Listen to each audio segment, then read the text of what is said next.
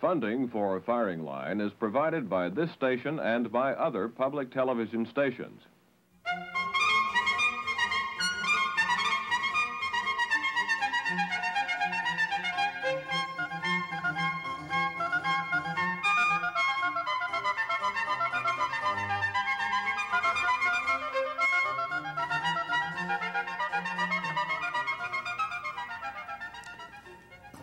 National Endowment for Humanities has been much in the news of late, having got itself a new chairman and another couple dozen million dollars to spend.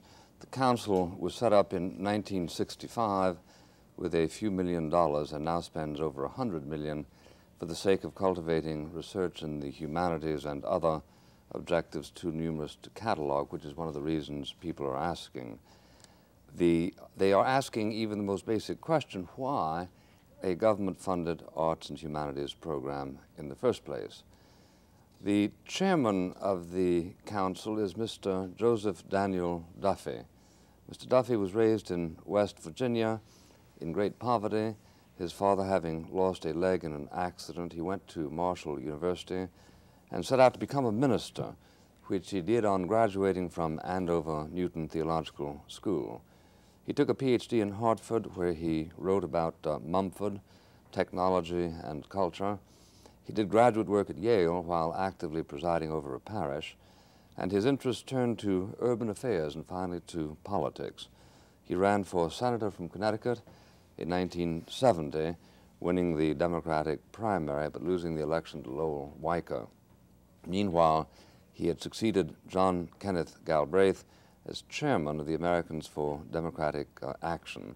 In 1976, he was an early supporter of Jimmy Carter for president and figured in the Issues Committee of Mr. Carter, who, on being elected, appointed Mr. Duffey first as Assistant Secretary of State for Cultural Affairs and then as Chairman of the National Endowment. Uh, his um, uh, nomination was widely debated in the press, mostly over two questions. A, was he a political appointment in the reprehensible sense of that word? And B, was his election a gesture to academic populism, his predecessor having been rejected for reappointment as too elitist? Our interrogator today will be Mr. Jeff Greenfield, about whom more in due course. Uh, I note in one of his recent speeches, Mr. Duffey said, quote, Today, we are less confident than we were 10 years ago. We are chastened, less arrogant, less sure of our mission. Having debated with Mr. Duffey 10 years ago at Trinity College, I especially welcome his chastened reincarnation. I should like to begin by asking Mr. Duffey, how does he define an elitist policy in his field? Well, I'm not sure that I consider elitism a bad word, uh, so I, I, my, much of this debate over that occurred at the time of my nomination was like uh, stumbling into a bar room where some other people were shooting out a fight, shooting, car carrying out a battle and being caught in the crossfire. I think uh, what, the, what occasioned all the anger and debate was a remark by President Carter that he would like to see the endowments rid of an elitist attitude, which is not quite the same thing as uh, as elitism itself. I think an elitist attitude I would take to be an attitude of condescension toward uh, others, an attitude of intellectual arrogance or of, of very narrow scholasticism. Uh, but well, you, you, distinguish between elitism and uh, snobbery in one of your speeches, uh, but it, it, it is snobbery that would be one an act of condescension, right? Well, I think what most people, when, when they're talking about elitism, what they are objecting to primarily, it seems to me, is not, as they're sometimes accused, achievement, but, but snobbery. Mm -hmm. I don't think elitism, it's, there will always be, if, it seems to me, if a society values achievement, an elite of one kind or another. Well, uh, um, might, might the term carry such opprobrium as it did in the recent controversy in designated not so much uh, an aristocracy of talent concerning which there ought to be no objection, but uh, a, a presumption that that aristocracy inhabits certain cloisters. I think that was essentially what was being debated. Yeah, I that, that if you were from Harvard or from Yale or from Berkeley or whatever, uh, you were putatively better qualified to receive a grant than if you were from someplace else. Well, and that grows from a fear that if there is only so much money for the federal government to distribute in the area, and you begin to follow a practice of trying to cultivate audiences or acknowledging poets in Montana, then you then large, uh, essentially private institutions in the Northeast may begin to, may, may be at, at, at, their peril and their price. So that uh, uh, I think part of the anxiety is a sense of, uh, of scarcity and a sense that, uh, as, Robert Brustein keeps expressing, that there is a high professional uh, sources, of, there, are sources of high professional talent, which if they don't receive attention uh, and need uh, will dry up uh, or, or, suffer, and that when you show some inclination to acknowledge learning or need in other areas, you follow a policy of, of public education, then you are doing that at the, at the peril of centers of great achievement. Well, uh, why, why, don't you, uh, if you don't mind, um, e explain for the benefit of um, people who, who don't know, what, uh, what would be the itinerary uh, from soup to nuts of somebody uh, who made an application and got a grant? What, what, would he, what would he begin by doing? First of all, does he have to be an American?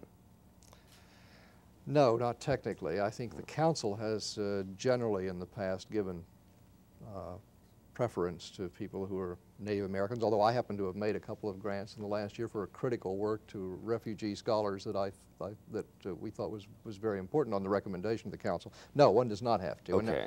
Does he have to be a, a college graduate? Not necessarily. I think in the competition, uh, let's, there, there's so many programs, but now let's talk now about an individual grant to yeah. do a piece of work. Yeah. Uh, in the competition, because we use the judgment of peers, yeah. and essentially academic peers, although we try to bring in people who represent the public, uh, it's clear that people, that, that individuals without credentials have a more difficult time. One of the questions I asked first when I arrived at the endowment was, could Eric Hoffer get a grant to write a book? I don't, Eric Hoffer didn't ask for a grant mm -hmm. to write a book. Uh, but that's an important question. Could Wallace Stevens get a grant to, to do some work, neither of them being credentialed academic academicians? It's more difficult. I think it, uh, I don't think they're ruled out, and I think people do prevail, but they are essentially in a competition and in a world where the judgments are made by people who have a high regard for credentials and track records.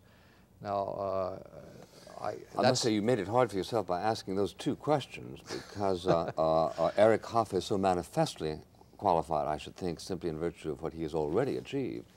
The interesting question is, would Eric Hoffer have been able to get a grant before he had written well, his first book? Yes, well, that's really, that's the, I think the terms yeah. which the question would have been. And this, is that what you meant? Could yes. Wallace Stevens have gotten a grant to write poetry Very if he had written simply right. from his insurance office? Now, I think it's possible. Grants like that are made every year. They are in the minority. Okay, now what happens? Uh, Mr. Jones, who's never written a book, uh, approaches you and what do you do? Do you send him forms, I suppose? Approaches the uh, endowment staff. It's quite a small staff in Washington. He receives a set of guidelines. Yeah. These, he has to be working in one of the areas of the humanities. He applies. His application is examined, first of all, uh, in, in, in many cases by reviewers who, who know his field. Mm -hmm. uh, secondly, by a panel of peers and then by the National Council of the Humanities, which yeah. is a citizens group. they make a recommendation to me. I have the final responsibility for the grant in almost every case. I yeah. follow their recommendation. Yeah. Uh, and, and, what would be the upper limit of that grant? or is there one? Well, for an individual who's writing a, uh, there's so many different uh, categories. For an individual, uh, $20,000 at the most. Mm -hmm. Uh, but for a team of people who are doing work, we, we've finished a project a couple of weeks ago for a dictionary of bioethics, uh, encyclopedia of bioethics, four volumes at uh, Georgetown, scholars from all over the world. That was, I suppose, half a million dollars, mm -hmm. some of which we will recapture on the sale of the books.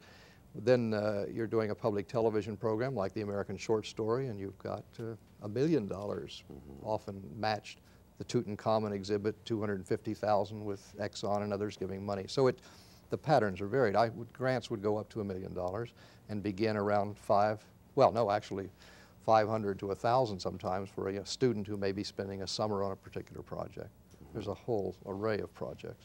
a Hittite dictionary in Chicago, the University of Chicago, which is a long project, some people would consider a very elitist project, uh, to uh, a grant to a labor union, which may be working particularly on the problems of its history and its origins in terms of interpreting them for its members. So it would run the whole range. I think one of the problems of debating the humanities is that, or public policy, is that there is such a variety of activity. And I suppose the fear some people would have, besides this debate about standards uh, and anxiety about that, is the fear that somehow those projects that seem more public or populist might have an edge over the ones that have a more of an esoteric quality to them. Now, uh, uh, did you, uh, obviously you have reviewed uh, the early grants of the council. Uh, did you find there a, uh, a pattern that, that raises questions or that prompts you to to set out in a different direction? And if so, what is that different direction? Well, it's, it's rather difficult for a chairman to set out in a different direction in the sense that I sort of preside over a process. I can make administrative decisions. I may influence things or, or quarrel where, with uh, questions of values by what I say, if anyone takes that very seriously. Mm. Uh, but, I, but, I, think that may be a part of my job. But the, I don't believe that the endowment today is substantially different than it was four or five years ago uh, under my predecessor. Mm -hmm. My attitudes are different. I think my appointments may be a bit different uh, as I've had a chance to make them. And again, I can't make them capriciously or at will. We are not, uh, I have to, the, my appointments are examined by the Civil Service Commission for the qualifications of the individuals. I've tried to have a more representative council. Uh, I've tried to have a staff that's a little more representative. I've tried to suggest that that there are great centers of learning all over the United States. And uh, I've also spent a lot of time defending large grants to Yale and Harvard when mm -hmm. it mm-hmm. involves bringing college teachers from across the United States to spend their time in those libraries on work over the summer. Uh, and I suppose unlike I suppose a lot. that's a uh, that's a light. All right. okay, wait a second. I'm, I'm sorry, I don't usually do that to my uh, Yes, we. we well, I'm not firing line is intended as a metaphor. I don't. Let me. I think attitudes are changing a bit. Uh,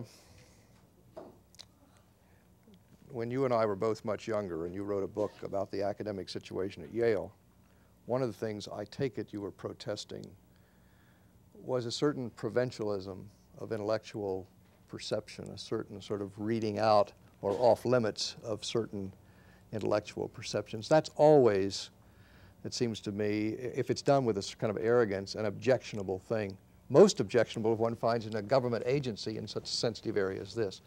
I believe I found some of that. I have tried by exhortation, and example, and appointment to try to reduce that. But uh, I don't think that's dramatically different now than it was. Mm -hmm.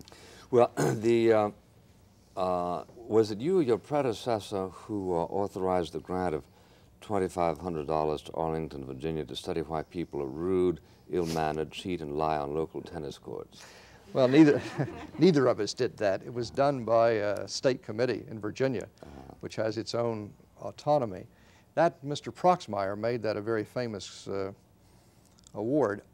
I've gone back and looked at it out, just out of curiosity because it's one of the very, there's very little understanding of what the Humanities Endowment does and that's one of its more notorious grants.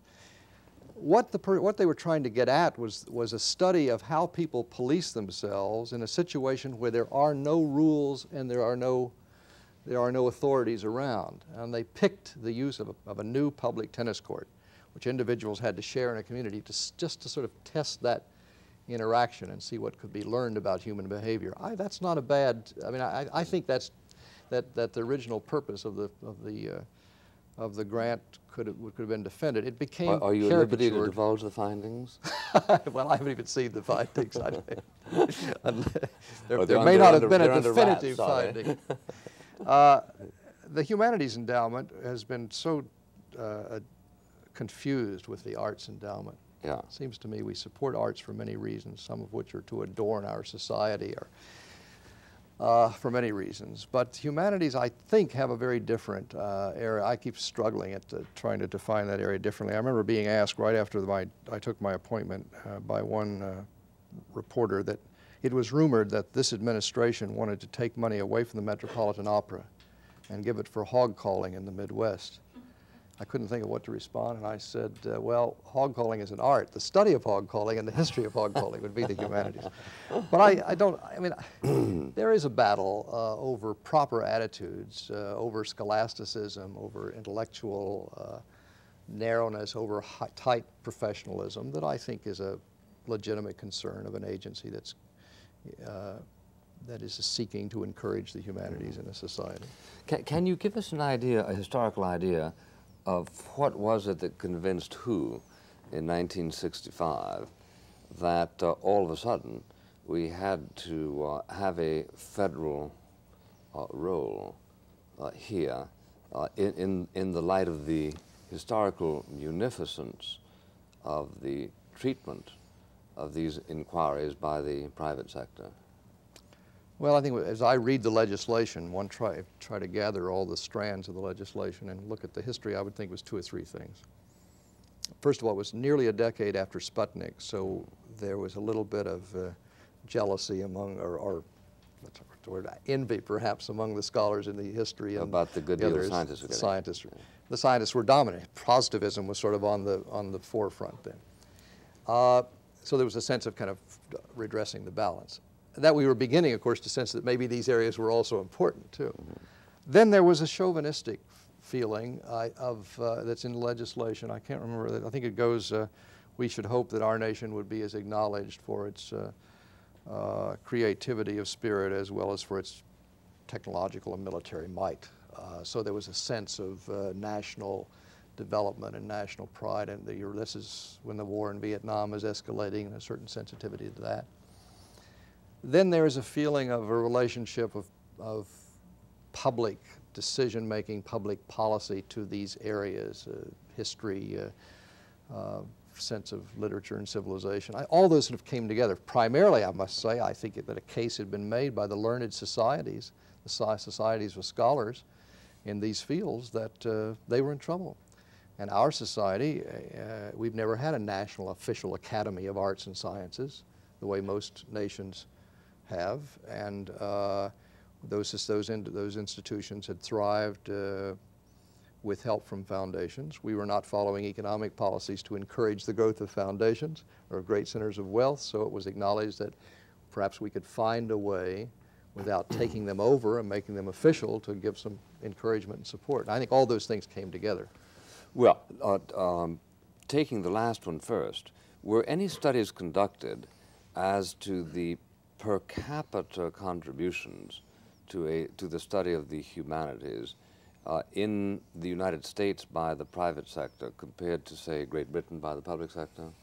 Or the public well, and private sector combined? I'm not aware that such studies were taken, but my they impression would be is, interesting, wouldn't they? They would be interesting, and my my in, uh, intuitively, I would think that the uh, the United States support in the private sector was probably even greater than the public support in other countries of Europe. Right. Yeah. So so re really, what what uh, what it comes down to, as far as I can see, is, is whether you are engaged in the growth of a tradition, the effect of which will, over the years, uh, uh, relieve the private sector of any sense of responsibility for the promotion of such studies. As, as you know, private philanthropy is frowned upon in Sweden. It's considered uh, something of an effrontery because uh, philanthropy ought to be the business of the public sector. So that the best way to become unpopular in uh, Sweden, for instance, is to add a wing to the museum or to uh, endow a national park or, or whatever. Uh, I find this um, a, pity, and I wonder if you share my uh, uh, well, you can can't you understand though one of the reasons for that tradition, uh, for that sentiment? It does. It has. They to think do, it's seigneurial, and, well, that has to do with the reaction against what they take to be a kind of patronizing condescension, which, uh, which carries with it a certain. Uh, I mean, it, you know, noblesse oblige can be a, a good thing to be not, not always to be knocked, but it also can be a rather uh, objectionable social attitude. I think there's, an, oh, there's a very strong reaction in that tradition to those patterns. Uh, in this country, as, as we're growing more uh, in a direction of feeling that uh, these, these are public monies, uh, they're public monies whether we give tax advantages to individuals and to foundations and let the money flow that way, or whether we it's directly appropriated by the government. I would not like to see it all come directly to the government. I'd like to see a mixed system. I suspect that the endowments are the best way of right now of ensuring that because they are not ministries of culture. They're not departments of culture. A lot of our money is matched by the private sector. We are tempting and challenging individuals to stay public television, for example. We make challenge grants, public television stations, and then they use them in these campaigns to get more individual small contributions. I value that element, that tradition in our society, but I suspect, and I suspect the government ought to do what it feels it has to do with an eye trying to keep that tradition alive. Well, if these, if these are public uh, dollars, uh, which I don't happen to think they are, but if, if they are public dollars, how do you justify uh, an individual's uh, resentment that uh, a council presided over by you, never mind that he might think you're the best thing that grew out of Connecticut uh, um, in, in a century, uh, how do you justify his resentment at your arrogating the right to decide Sure. uh, who, who's going to get this uh, money? Well, they're not public dollars, let's don't call them. They are dollars that could, would otherwise have been, the public might have had a claim on through taxation, but we, we, we encourage them going another way. I would say that that individual has every right to be skeptical. Uh, and to, uh, the only thing is I can be held more accountable. I have to go, I have to be questioned publicly. I have to be, I have to have my procedures uh, with more, with more rationality so that I can at least, I have to be accountable for what I decide. Now, if I'm running a private foundation, that's not the case. Now, that may not, uh, you know, that uh, uh, accountability is not the, the last word, but I would think that uh, it's, if I am arbitrary, it's more likely I can be uh, at least questioned about it and have to respond, Well, whereas the- a private foundation doesn't. Well, si- si- since you mentioned the fact of tax uh, deduction, uh, the hypothesis is that uh, the dollar that you are giving, let's say, to subsidize this particular scholar, uh, is a, a dollar that uh, uh, is now no longer available to a citizen who might have uh, elected to give it to a different scholar we, we, we are assuming, I take it, since you mentioned the tax deduction angle, that you're really talking about the distribution of dollars that come from high income pockets. Well, uh, I wouldn't necessarily say. I mean, our tax system, the bulk of our tax system doesn't, of our tax revenues don't come from high income. It was a time of my life when I thought they did, but I think you reminded me once they don't. Uh, they probably come from Well, moderate they come from middle income. to low income. They come from middle income. we are but- taking But the top income, do, it, it's, it's only, you have to be in the top income in order to get 70% relief every time you give a dollar to Right, Harvard yes. University. So, so that uh, the assumption is that to the extent that your portfolio grows, theirs diminishes. And what there is is a transfer of authority as to which uh, institution shall be endowed from the people who earn the money on over to you who merely spends it. Well, the fact that we're in that, pro- I mean, you suggest that being in that process now, we are inevitably moving. Uh, and in fact, what we're doing is diminishing the private sector. We're moving down that line. I would, would, would hope that uh, the people in my position would constantly be aware of the need, as I am, to try to preserve that private sector. Admittedly, the government is more of a force than it was once. I think that could be defended. I better, it seems to me, to have some element of this in the, in the government where it has to be visible, the press can look at it, it has to be accountable, but I, never to have the government dominating the area. But you know, you have to, we, we, I understand a few weeks ago, uh, John Gardner has organized another one of his organizations in Washington to encourage uh, tax procedures which will uh, spread out philanthropy, encourage more participation. I think that's very good. I consider him an ally in my effort to try to keep these programs from becoming all government uh, well, he, dominated. Here's my, here's my difficulty. If there's a case for the federal government subsidizing the Metropolitan Opera, what is the case against it subsidizing the whole of the Metropolitan Opera? What, what, what, if, if the Metropolitan Opera be, is a federal responsibility and defensibly that, why is it also a private responsibility? Well, you know, I, I, don't, I don't, want to debate the question of the opera. I, well, perhaps it might be, but I, but I, yes, but there are, I would draw a distinction between that in the sense that for the opera, perhaps uh, you're talking about a state opera, a national opera, other people can talk about that. In the area in which I work, it would be more, more mm -hmm. sensitive the funds that we provide go for the writing and rewriting and reinterpretation of our history. Mm -hmm. And there is a real reason why one should always hope there would be a private sector there. Uh, I would think that's more sensitive than opera or ballet. I would think that uh, that. Well, well I, rec I, recognize that's the responsibility of your sister organization, but uh, let, us take something then like your uh, your uh, Hittite dictionary uh, if there is a responsibility for the government to subsidize the making of dictionaries, what is the line that you draw? That you will subsidize only those dictionaries which can't reasonably hope to recover the capital cost? Well, that would be a consideration. The first question has to be asked, and I think I ask it more, more uh, sharply than my predecessor, although I think the only reason for that is that the agency is becoming larger, and as you say, more questions are being asked about it. The first question is a question of public purpose. Yeah. There's a lot of academic work that goes on that I think needs no justification in itself. I don't think, I think learning is an end in itself, but that's not enough of a reason to provide public dollars.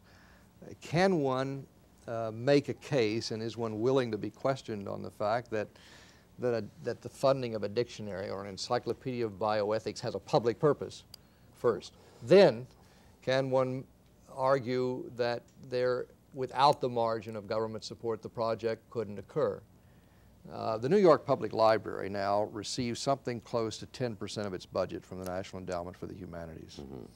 Now, I gather that the people in New York feel that the opportunity to get some of those tax dollars back into the city by giving some money, and more, more are giving little contributions to the New York Public Library than ever did in the past. That's a tremendous incentive, even though they only get one federal dollar for three private. If we play that role, I think that's essentially positive. I think it's essentially uh, uh, uh, encouraging a broader responsible acceptance of responsibility among the populace for great institutions. It's pretty, it's pretty tricky stuff because uh, because it ends you up with a kind of uh, uh, authoritative cultural uh, control, uh, which is the analog of um, the federal government's, in effect, uh, deciding how Mississippi is going to allocate its resources. The game down there was to say, look, for every one dollar that you put up for the building of highways, we'll put up nine. I which, which meant that you got roads all over Mississippi because nobody's going to turn down nine bucks. Now, by the same token, some, I, am asking who suffers as the result of your being the catalyst of more money going to the New York Public Library? Does the Brooklyn Library suffer? And is that good, is that okay? Or the Bronx Library? Or if, if, if we assume that there is a finite, that there are a finite number of dollars plus an infinite public appetite, something has got to be rejected question who should make that decision? Well, I think that decision, some people have to make that kind of decision, and it should be, uh, and it can't be made at the ballot box, I suppose, except maybe recurringly, as, as I don't, we haven't had any, any, any uh, national politics structured around the questions of policy in this area. It has to be made responsibly someplace, and it has to be made out in the open uh, with a willingness to be questioned about it. And uh, with a with a press eager to it, constantly kind of looking at the process. That's all. I don't know any other way. It is a sensitive area. You mentioned authoritarianism. I, am trying to. I think it's Raymond Williams in Great Britain has talked about the way in which a culture can develop. Uh, he talks about authoritarian models, uh, commercial models, uh, uh patronizing models, the model of the sort of patron or uh, of the old foundation, or democratic. Nobody quite knows what democratic means, uh, except that I think uh, opportunity. Uh, well, I think we have some sense of what democratic means. None of those, uh, we, know, we don't. We have a sort of mixture of all those elements. Uh, uh, the less authoritarianism, the better. But if if we're talking about the making of responsible judgments, and, and you know that has to be done someplace. So that's why we have a why we have a government, and the only way it's safe it can be done is for it to be done as openly as possible. Well, that, that, however, is another way of saying something which, which is, in a certain sense, true, that all decisions are political. Uh, it, Well- it becomes really a political decision whether you have the first 10 amendments to the Constitution, because um, uh, they can theoretically be repealed. Uh, the, the right of uh, a man to, to marry a, a, a, a woman who wants to marry that man is, in a sense, a political decision because we set up certain guidelines. However, it is by acts of restraint, isn't it, that we encourage what we know of as a free society. Question Are we exercising proper restraint when all of a sudden, after two, approximately 200 years, we decide to set up a council in Washington, D.C., that's going to subsidize uh, Hittite uh, dictionaries uh, and is going to turn over three quarters of a million dollars so that 300 doctors, lawyers, and school administrators can come to Yale to broaden and sharpen their humanistic perspectives. Well, now come off the last. Uh, first that, of all, that, that was quote unquote. yes, but what is, what is the quote? 300. Uh, Quotes to broaden and sharpen yeah, their well, humanistic We're talking about a small program in the endowments, an experimental program try to encourage the consideration among professionals of questions of value. You see, you see the trouble judgment. is you put me think on the defensive because. Well, I'm glad be- that- because that doesn't actually, happen very Actually, often. I've had I've, I've done screwier things than interest myself in Hittite dictionaries, uh, but. Uh, how do we define a public question? Well, let, us restraint- acknowledge that, that the air we breathe is a public question, right? Nobody can deny that it is a public question that we should all be able to breathe ox- breathe air, right? Now, at the other end, it is presumably a private question who I elect to marry. Okay? Now, somewhere in between, the, the presumptions begin to favor the private sector and to oppose the public sector. Now, your presumptions are rather aggressive here, aren't they? You, you, you want an enlargement of the public sector. And before we know, you end well, up. wait a minute. No, just a minute. You I'm, I'm, not in favor of an enlargement of the public sector. I haven't asked for. Were you uh, booted out of the ADA for heresy? Uh, No, I, but it's a lot of people the ADA seem to have changed these days.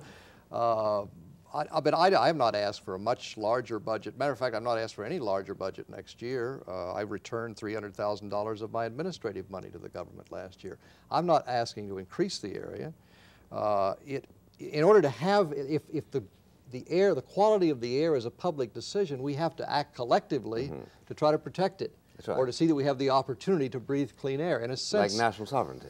that's right. One, one might transfer that over to the cultural area. If the area is not to be dominated simply by commercial or market means, you're never going to produce our equivalent of the Oxford English Dictionary, as, as the British didn't produce theirs, in a free market system. It's going to take some kind of patronage or support or encouragement. Why? Well, I think because it just doesn't, uh, it, it isn't, an, it, it is an elitist project, I suppose. No, but you see, it doesn't have but, that. But as, uh, you know, as, as you know, the way those projects were organized, uh, Johnson's dictionary uh, was capitalized by subscription.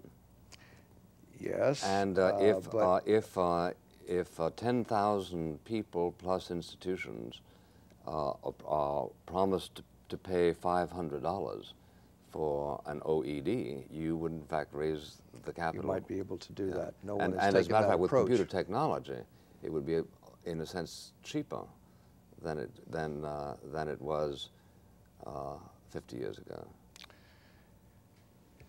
well, uh, no one seems to be uh, taking that approach. I know, but you know Uh, why? It's because they expect that the government will fund it. Well, I think that's a danger, the government getting involved. Does one take, I mean, that's always, a, you, you, restraint is the essence of civilization and culture, not just of Right. a democratic government. Uh, when one, uh, Would you be hospitable to a scholar who applied for a grant the purpose of which was to illustrate that the National Council should be abolished? I suspect that some of the grants, again, I don't, qualified? since there are 8,000 applications a year, and I don't, and nor I, sure should I, follow them all with great detail. I suspect there are some, since there are a number of studies today of, uh, of uh, both anarchy and certain other types of political philosophy. I suspect we do fund some. Mm-hmm. I hope we do. Uh, uh, I mean, I, that's a debatable question, which should, we should go on debating. It isn't a question of whether the government should uh, support the humanities alone, it's how. And uh, my earlier remark was that we have been supporting them, and the public has been sort of paying a price for that one way or another. Uh, Would you favor the founding of a national university? no, I don't think I would. Why? I've, matter of fact, I, when I was with the American Association of University Professors, I opposed that. Well, I don't, I don't think we need a national university. What, Uh, what do we need a national council for the humanities? Well, the You Congress. now, don't, don't, don't ask uh, me to say you haven't done useful things, because I, I tremendously Well, applaud individual projects.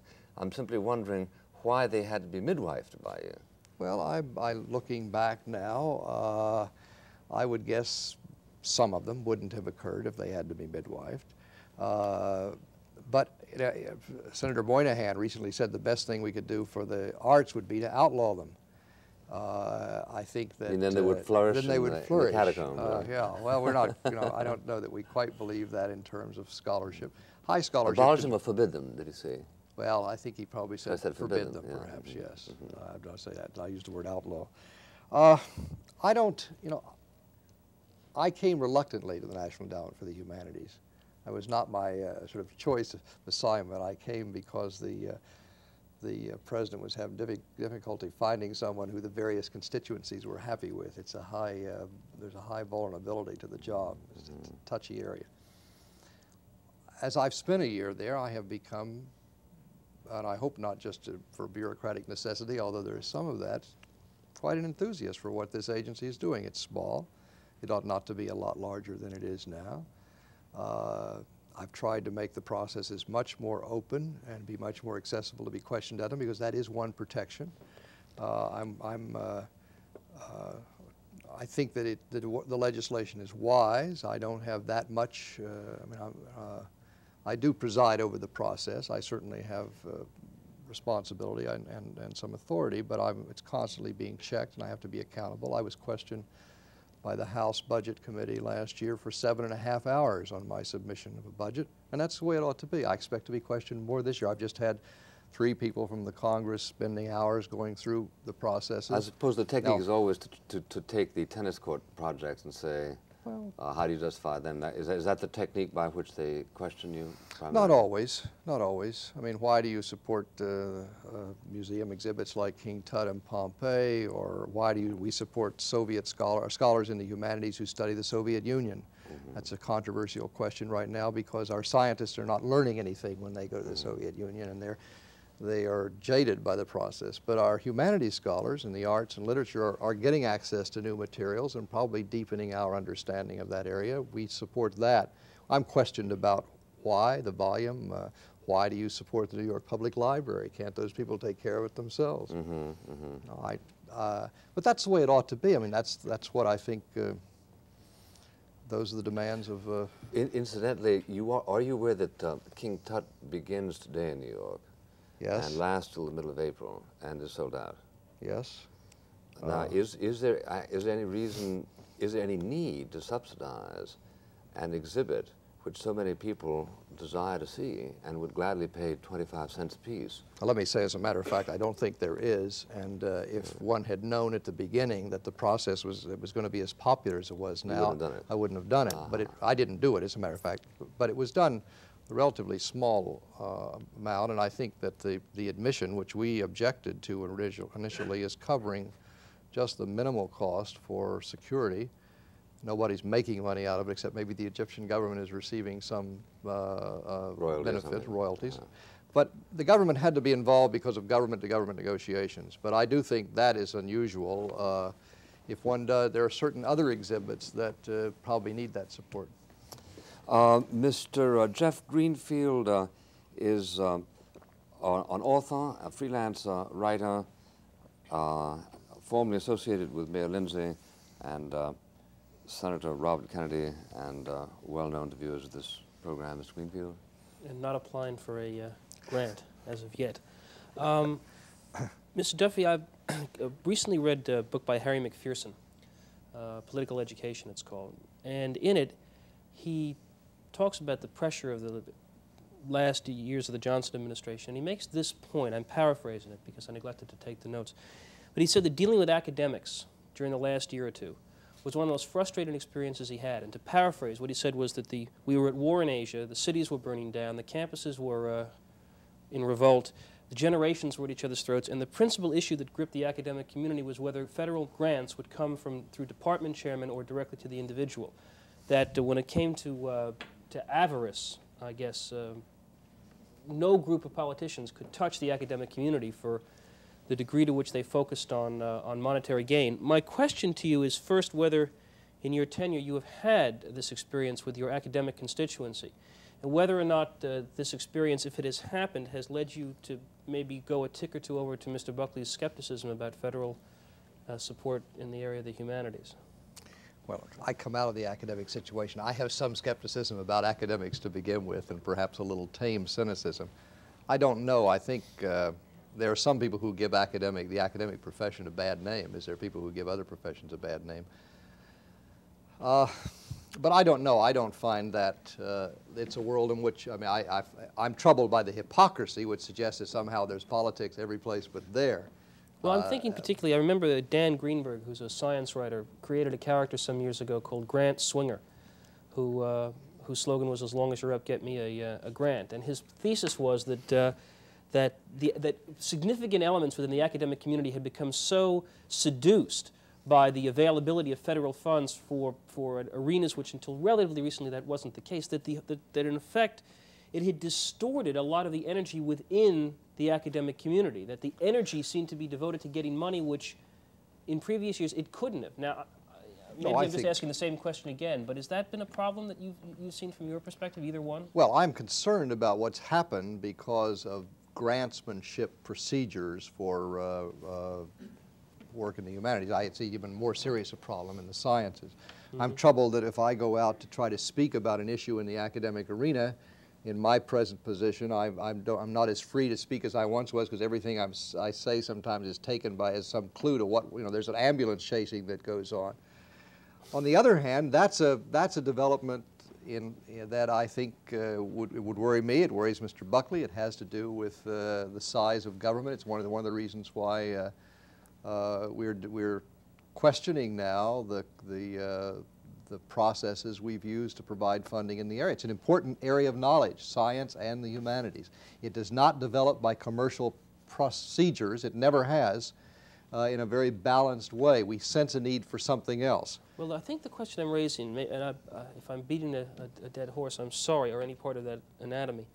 But it seems to me that one thing that, you, that could fairly be said is that there is at least a danger that when great sums of money are provided, and, and even though $150 million sounds small in the, in the federal budget to the academic community, that's money that wasn't there before, that in effect you not only create grantsmanship and, and and bucking for money, but, that you distort the greater purpose, that, that perhaps uh, uh, inquiries are begun less because they have intrinsic value and more because they are possible grant getters. I think maybe that's one of the things that uh, that could legitimately bother people about the whole specter of, sure, government. Sure, it's uh, it is it, it's a threat and a and a peril.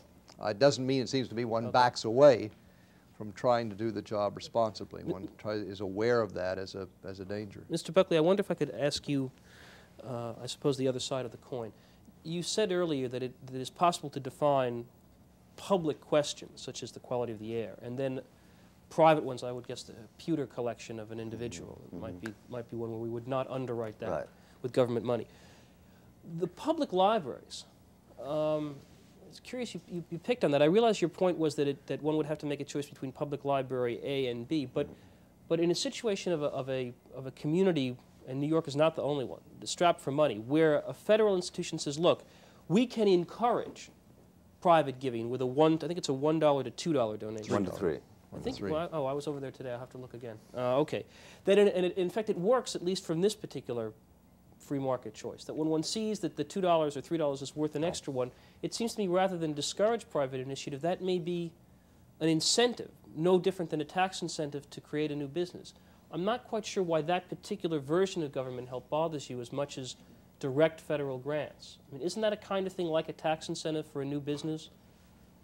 Well, the, the, what bothers me is that uh, uh, as the result of its economic power and its cultural discretion, uh, money is being drawn toward the favored beneficiaries of a federal agency I had no hand in shaping. I think one of the, I may have thrown you off a little bit though. One of the questions has to be asked by the New York Public Library as opposed say to the Brooklyn Library if one is trying to make that choice. Mm -hmm. Is there a national interest in the New York Public Library? I think that uh, must be 15 or 20 percent at least of the users of the New York Public Library come in from out of town for that specific purpose, probably 40 percent. I'm, I'm just guessing of the replies by mail. There are collections there that are not in the Library of Congress that are used by, the, by people in Washington constantly, so that it is a national institution, and that's a critical question, isn't it? Well, I, I would find, uh, I would have no quarrel with paying the New York uh, Public Library uh, uh, uh, uh a rental for the use of its facilities by American public servants. No, but the question is, for instance, uh, students from, from uh, who go to the University of Michigan or to Yale or to Pepperdine College who come back to New York on holiday. I mean, the the, if you've ever worked in the public library at Christmas time or Easter time, it's, uh, it's like Grand Central Station at rush hour.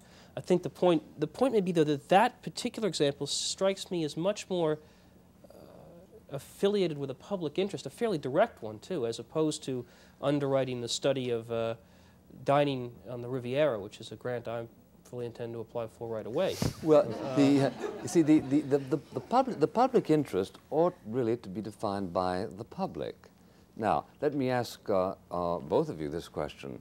If one were to advertise the grants of the National, Advise, uh, of the National Council over the last two or three years, and then set out and ask people to contribute $150 million to be spent during 1979, would that money be contributed? Would it be contributed to the control of, of, uh, of uh, thalidomide uh, extravagances if you asked the FDA to do the same thing? Is that really a... Well, this is a self-governing nation. Yes, but, and, and, and most, you of all people as a conservative know that's not the way it works. The representative most of this is auto-taxation. Do you want, prop you want a Proposition 13 for every single expenditure of the, of the federal government? No, Doesn't but that I think a little it's, much? It's, it's a pretty good test. It's a pretty good test, and uh, uh, it was acknowledged as, as such by Mr. Duffey when he said the very fact that he got uh, two million people dying to see King Tut's collection suggests that there is a public ratification uh, well, of, of, of that uh, exhibit, he made the which in point. fact did not need to be no, he very funding of your television. I understand that, that this show receives some funding from public television stations who elect to use the show. Now, that they, they, are deciding uh, you know, I suppose a representative way, they may not even be as accountable as I am to have to explain why they appropriate some of those funds. It's, it's not a direct public, you can hear from the public later, and then you, and uh, you can be removed from office, you can be, uh, you can uh, temper or modify your behavior as you get feedback if your decisions are, are public, but you can't quite uh, can't well, vote on whether or not you want to spend, have your tax exempt money or well, I suppose not in a society as complex as ours. My, you know, my, my, history on, on, that particular subject is terribly clear. I'm against any federal subsidy for television at all. Right. But I'm also against the FCC exercising its authority to prevent people from having cable TV or pay TV. No, I guess see, the point that puzzles me about this particular area is that it seems to me that while one understands philosophically that you have a problem with the spending of federal tax money, especially in this area, that there's a question of pluralism here. That, that one of the ways one can use public money rather than to discourage private money is to encourage it. That, for instance, matching grants of the kind that, that is available to the library will encourage private philanthropy to the point where we might get into the habit when the public matching fund is withdrawn. So that what, what one is talking about is more the kind of an incentive issue which 10 years ago you rather liked as a way, for instance, of providing jobs in low-income neighborhoods. It's in effect a tax policy as much as it is a, a direct federal disbursement policy.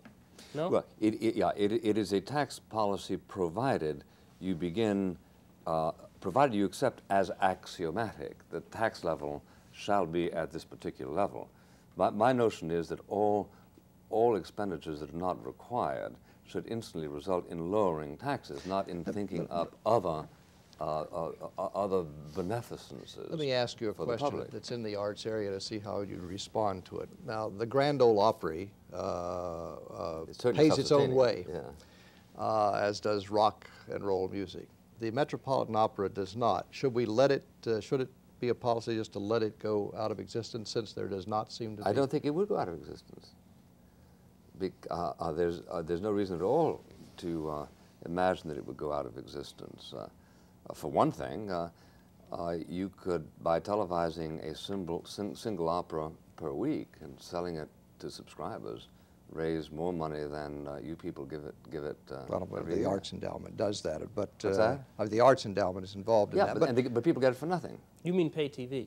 You mean- You mean subscriber co- television. commercialize the Sure. operation. Sure. And, and what comes with the commercialization, the, uh, in terms of the sponsors deciding that uh, Rigoletto is too sensitive uh, because of some implications about uh, computers or something, that wouldn't trouble you as a, as a Right, it- influence? It, trouble, it, it, stupidity always troubles me, but uh, I don't see that it's people stop being stupid when they get, start exercising political authority. But Bill, can I just ask you one, I don't know if we have time, but there's one other area in this, which is that when, a, when an individual, and it tends to be wealthy individuals, uh, set up a foundation, or indeed give money to any charitable organization, a 501c3, they in effect are saying this money is not going to be used for tax purposes, it's going to be used for what I want it. And there's clearly no accountability at all there. Now, it, it may take a, a pseudo-socialist perspective on it, but one see, could I don't say... believe in tax deductions. I know you don't believe in it. I'm talking about the way it happens Yeah, okay. now, right now. That if you're in the 50% bracket, in effect, uh, the government is giving me 50 cents to spend a dollar of my money as I see fit, no accountability at all. So that while it may be redistributive and therefore a, a venal or mortal sin in, in your uh, political theology, it seems to me that there's nothing, that there's something balancing about letting a, a publicly accountable force I- begin to weigh the I- balance. I greatly, I greatly prefer the existing system over the system that exists, for instance, in Sweden, where uh, they simply take as much more money from you as they want, and then themselves decide in all cases how to allocate it among schools and libraries and so on and so But we're forth. talking about but I, I'm talking about whether we're traveling in the Swedish direction, whereas we ought to be traveling in the opposite direction. Uh, What is the opposite direction to well, take a model? The opposite of- direction is, is, a, is, is, is a continued lowering of taxes so as to provide enough residue to, uh, uh, to uh, reinvest the private sector with the uh, responsibility. Unfortunately, you don't have a social model for that, uh,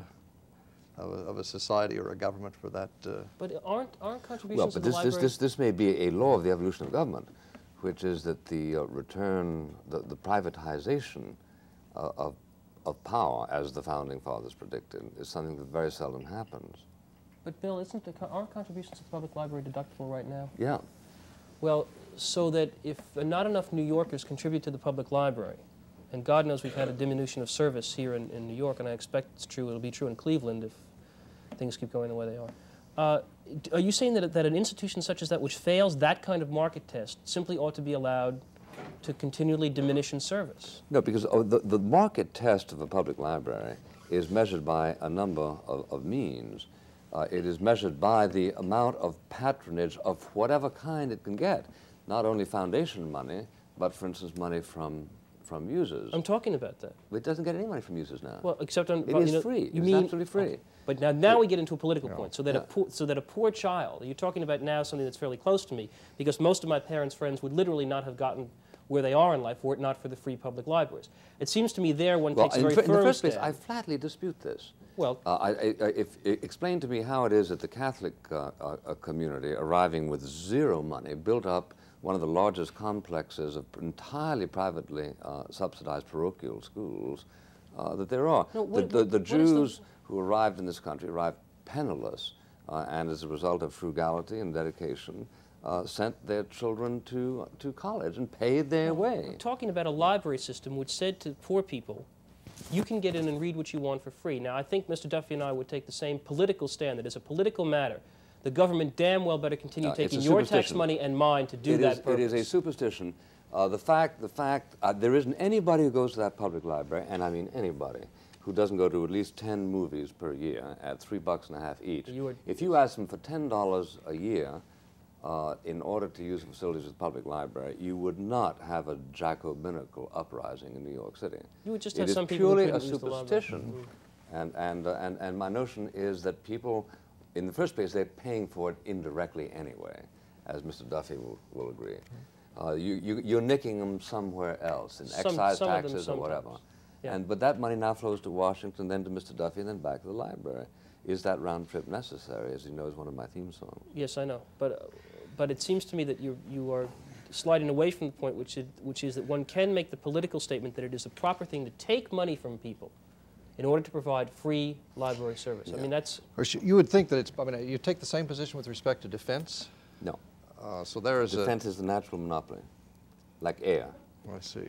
The uh, pure air is, is I am obliged to do everything I can to make sure that I don't pollute the air that you breathe. And we are, I think, bound by common bonds to work out our destiny as a free country in which you and I make the decisions, not Russians.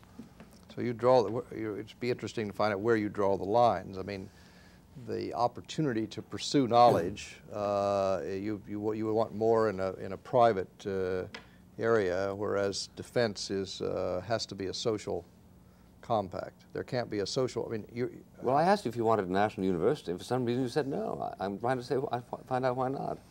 You said, well, because you don't need one. Okay, what I'm saying is that you don't need the national endowment. Although I, I vastly applaud most of your projects. let's. But I don't think that's a paradoxical position. And I, and I like you. I see. Well, I'm trying to figure what kind of, what the society, what your society would look like. Maybe Jeff and I can help sort of picture it out. oh, I think I, I think uh, there'd be branch missile sites uh, throughout the New York City system. Uh, Put in a nickel Yeah. for the missile. Yeah, that's- 35, if you don't have 35 cents Kids could go down and study lost. silos and, and, and, and appreciate the, uh, the greater glory of, uh, of. Turnstiles and all the I mean, it really is a point at which, at which one has to just sort of cut through all the underbrush and say, well, that's just flat wrong. That there's a government has a perfectly legitimate reason to tax Mr. Buckley, Mr. Duffey, myself, anybody else it can get its hands on, to provide free books for That's, people. by the way, there's a very strong conservative position developing now About if one 10 just takes the seconds. titles for the sense of, uh, of, of, a of, a- of, of, of, of a large of sort of responsibility for the development of society uh, in its broader senses. I'm wondering if your philosophy is still conservative. I'll drop you a note. Thank you, Mr. Duffey. Thank you, Mr. Greenfield, ladies and gentlemen.